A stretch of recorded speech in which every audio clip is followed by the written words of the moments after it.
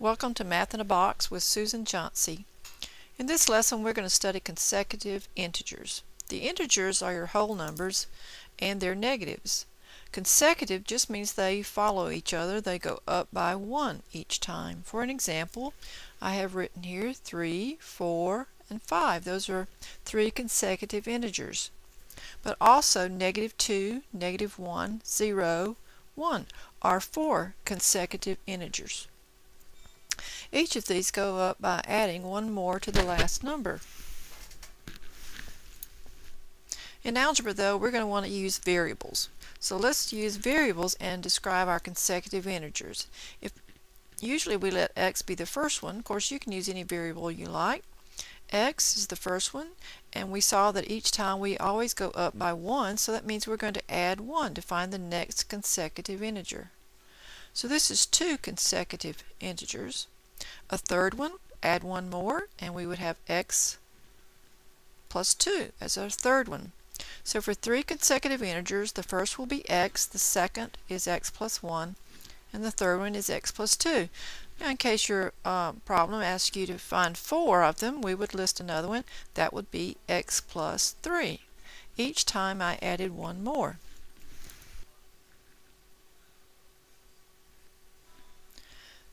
Let's look at a problem. Uh, the sum of twice the first consecutive integer and three times the third consecutive integer is 26. Now notice that I said sum. Sum means that we're going to add these together. See the word sum means we're going to add. Twice the first, twice the first consecutive integer.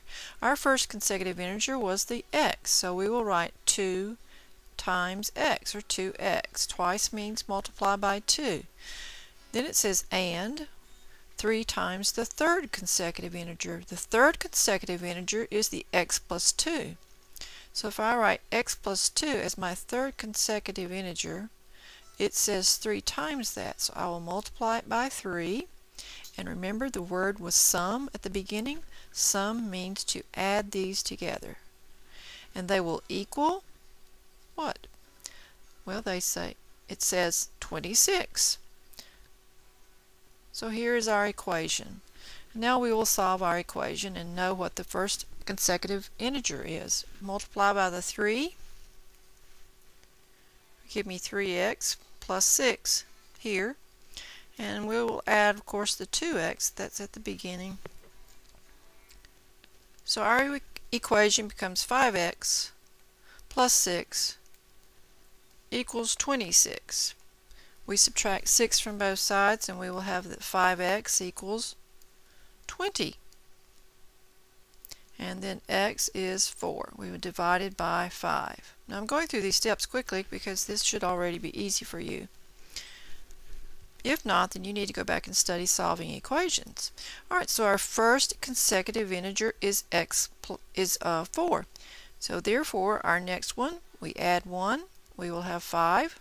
And then the third one, because we were asked to find three of them, will be x plus 2, which is 6. you can always go back and check this. Remember the sum of the uh, twice the first. The first one was a 4, and if I multiply that by 2, oops, forgot the 2, I'll get 8. We were supposed to then multiply the third one by 3, and that will give me 18. And if I add those to find the sum, I will have 26, which is the answer that we wanted at the beginning of the problem. Now let's look at some other types of integers. Let's look at the consecutive odd integers and the consecutive even integers. Yes, we're going to look at these at the same time. The reason is that the odd integers and the even integers actually go up by the same amount each time they go up by 2.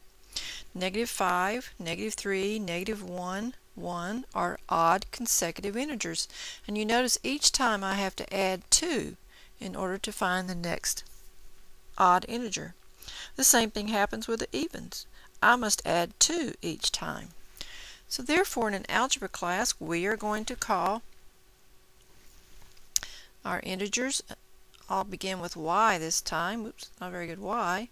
Then the next one is y plus 2. And the third one would be y plus 4. Remember, each time we must add 2 in order to find the next odd or even integer. Let's write one more. The next one, or the fourth consecutive odd or even, would be y plus 6.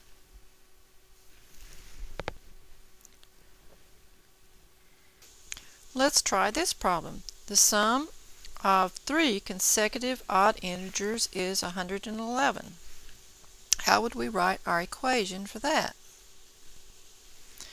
Well, if we want three consecutive odd integers, we would start with our x, and the second one would be x plus 2, and our third one would be x plus 4. Remember, the odd integers increase by 2 each time. Now, again, when I use the word sum, so we will add these and they will equal 111. Now let's simplify the equation. This is 3x plus 6 equals 111. Subtract 6 from each side, we will have 3x equals 105. Now if we divide by 3, we will have x, our first consecutive odd integer should will be thir, uh, 3, 5, 35. So that means our next one is 37 and then 39. To check this, just add those three consecutive odd integers. They should give you the 111. Let's do a problem that's very similar, but we're going to use even integers this time.